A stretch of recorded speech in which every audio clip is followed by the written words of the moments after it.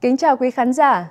Dưới tác động của khối không khí lạnh đang mở rộng sang phía Tây, kết hợp với vùng hội tụ gió trên cao, nên trong đêm nay và sáng sớm mai, khu vực phía Tây Bắc Bộ và các tỉnh vùng núi phía Bắc tiếp tục duy trì mưa rào và rông rải rác. Cục bộ có điểm có mưa vừa, mưa to.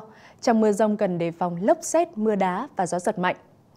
Trong khi đó, tại các tỉnh phía Đông Bắc Bộ, bao gồm cả thủ đô Hà Nội, do nằm sâu trong vùng ảnh hưởng của khối không khí lạnh nên trời duy trì nhiều mây. Hơi lạnh từ khối không khí lạnh cũng giữ cho nhiệt độ trong ngày tăng không mạnh và chỉ phổ biến trong khoảng từ 21 cho đến 24 độ.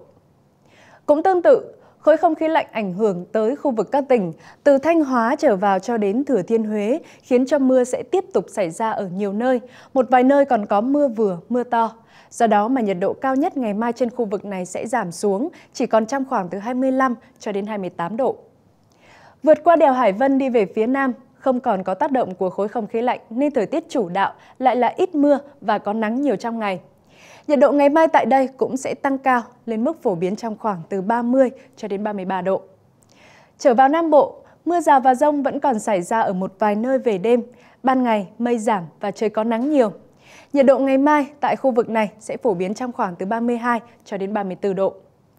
Chuyển sang những thông tin thời tiết biển.